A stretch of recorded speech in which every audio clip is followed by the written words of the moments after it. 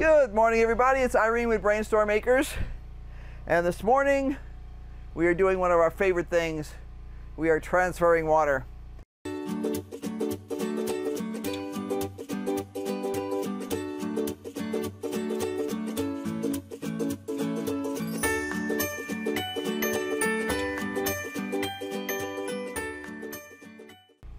We live off grid on 43 acres in northern Arizona, and we are not on any kind of city water. We also do not have a well because wells here cost about $80,000. So we're on what they call water haul, which means some guy comes with a truck, we pay him money, and he brings us 2,000 gallons of water at a time.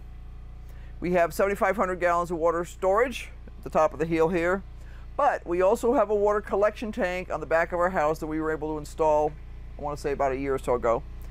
For the first two plus months of this year, we only had 1.5 inches of rain and we had a water pipe break. We had almost a completely empty tank. Well, in the last 48 hours, we've had a little over two and a half inches of rain here. So we now have over a thousand gallons of water in our water storage tank. Our water tanks here, we have two they're rain barrels that we bought and we use those in here just to water the greenhouse. We do not have water in the greenhouse except for those barrels. So what we do is when our tank gets nice and full like it is right now, we transfer water to these barrels, we fill them up good. That means there's more storage space in the barrels because we're supposed to get more rain in the next couple days. Whether we do or not, no clue, but we'll be ready in case we do. So that's what I need to do this morning. Henry's running a couple of other errands around the place. I'm gonna handle the water chore. First thing I'm gonna do is get that ladder out of here because it's in my way. You need to back up, Jack. Back up. Back up. He thinks because the door is open, he gets to go. You stay. Step one, get the ladder out of the way. Step two, bring in a hose. Oh, you stay. I have a hose here that is attached to a pump on the other end and that pump is going to be pulling water from the water storage tank. As I have used a simple spring clamp to hold the hose in place. This is not a high pressure situation, but the last thing you want to have happen anyway is to have your hose fall out on the ground and dump water on the ground because water is way too precious around here. Make sure that this is closed, which it is, and we're all set to go.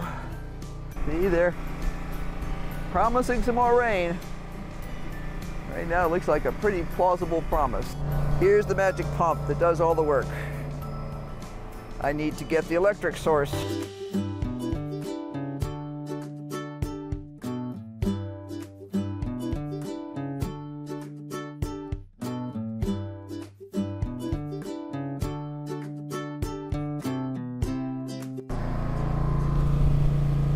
I can feel that that is running. Now the reason it took a couple minutes for me to get back here, let me show you this here. We got some hose. It runs along the back of the house right now. Goes to this storage tank, which collects water off the roof. But I have to take off the insulation.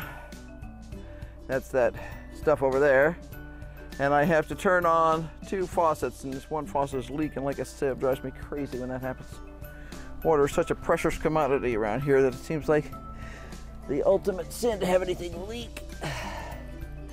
Yeah that's better. So there's actually two valves one brass one on the tank and another small brass one here that goes right to the hose. And let's go into the greenhouse show you a little of the south yard here, complete with clouds. Woo, and there's the greenhouse over here. And we're gonna be in there. Jack is in there right now waiting for me. He's a very unhappy puppy because he does not like to be left by mom. We have these two tanks here that are for collecting water. And we do not have water, so I have to go talk to Henry then.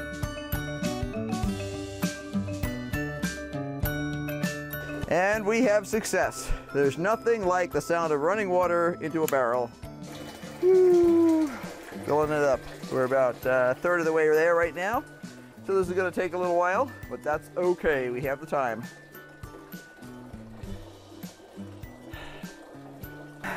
Well, thanks for watching. This has been an ongoing issue for us, but we finally got it sorted out. That pump has really, really small markings on it. It's easy to get it going the wrong direction. Right, and it was actually hooked up that way the last time we tried to use it, and we thought there was another problem. There was also a problem with one of the hoses, so we'll see. But we got that fixed. So now we have water. We'll fill up both of these, and then we'll wait to see if we get more rain. And I'll fill up the tote that's outside because that'll hold another 300 gallons. That'll give us plenty of room in our water catchment tank to catch any rainwater that comes down. Right. That's a big deal. Yeah, last, well, some years we can make it a good bit of the way through summer in the greenhouse with the, just using rainwater. And that's our goal, to not have to use any house water in the, in the greenhouse. So we're on the way. Well, thanks for watching. Please like and subscribe if you like this craziness that we're busy doing today and in general. And don't forget to hit the bell notification so that you get notifications when we publish something new. Right. My glasses are fogging up. Thanks for watching. Bye. Bye.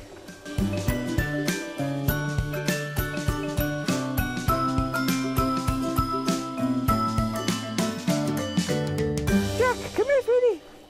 Come on, Jack. Come on. I will look the wrong way so that you guys will stop this foolishness.